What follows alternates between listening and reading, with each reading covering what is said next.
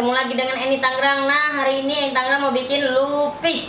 Teman-teman mau tahu resepnya? Tonton sampai selesai. Dan yang belum subscribe, saya ke teman-temannya. Dan di sini resep-resepnya Di sini 800 gram atau 1 liter eh, ketan yang sudah saya cuci bersih. Ini gula merah tergantung ya. Teman-teman memasak banyak atau sedikit ya. Ini saya masak 400 gram bersama pandan 4 lembar dan saya potong-potong. Dan kelapa satu biji garam secukupnya.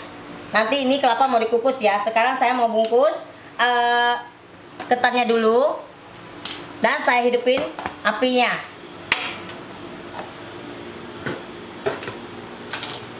Nah ini daun daun secukupnya ya.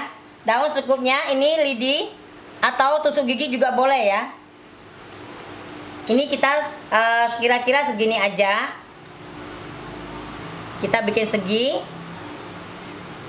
ini segi ya. Bikin segi begini.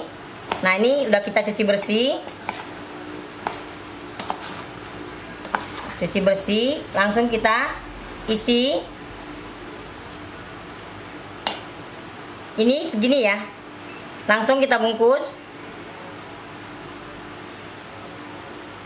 Ini kan e, bungkusannya daunnya kurang kurang panjang daunnya ini daunnya kurang panjang ya. Kurang panjang saya bisa sambung. Sekarang kita sambung.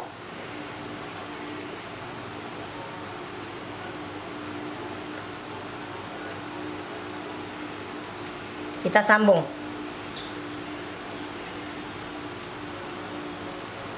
Ya ini kita sambung dan kita cucuk ke sini. Ini tusuk ke dalam. Ya jadi bagus ya. Kita harus bisa menyambungnya. Dan ini karena daunnya pendek kita harus bisa menyambung ya. Nah ini kadang uh, takarannya kecil ya kecil jangan terlalu besar juga. Tergantung teman-teman mau bikinnya seberapa ya. Karena kalau kita tempat kita jual di mana harus mau seberapa besar dan kecilnya itu. Kalau kecil dia cukup lingkarannya cukup ya.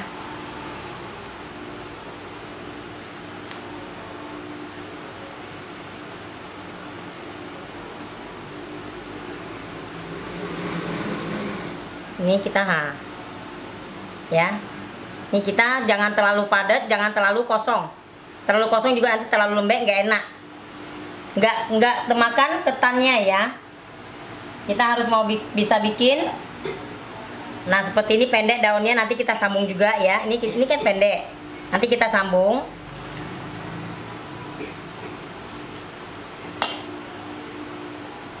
Nah ini kan cuma segini. Kita sambung. Kita sambung. Pegang sininya kita pegang baru kita lipat ke sini ya. Nah langsung ke sini. Kita harus mau bisa menyambungnya. Ini lidi rumbia ya. Bukan lidi pohon kelapa. Kalau pohon kelapa dia lebih enak lebih keras. Nah cantik ya. Dan kita bikin sampai selesai. Nah ini semua sudah selesai ya.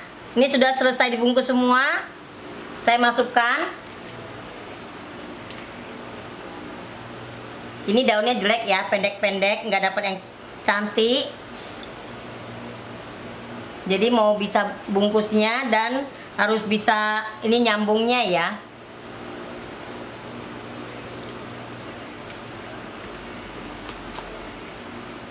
Nanti ini atasnya saya mau kukus kelapa. Jadi nggak buang waktu ya. Yang penting airnya tenggelam nih ya. Lupisnya kita rebus bisa tenggelam. Dan ini kita taruhkan begini atasnya kita taruh untuk kukusan.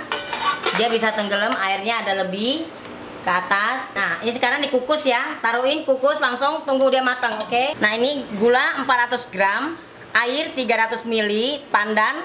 Ini pandan 4 lembar ya. Nah, saya taruh sebelah bawah gini biar dia wangi.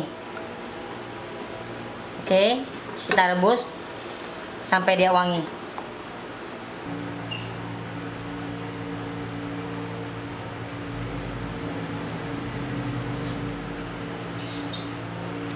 Selesai sudah kue lupisnya. Nah, ini enak banget loh bersama gula merah kelapa. Nah, teman-teman mau tahu resepnya? Tonton sampai selesai, baru tahu caranya ya. Yang belum subscribe, subscribe, ke teman-temannya dan tunggu menu ini selanjutnya. Terima kasih.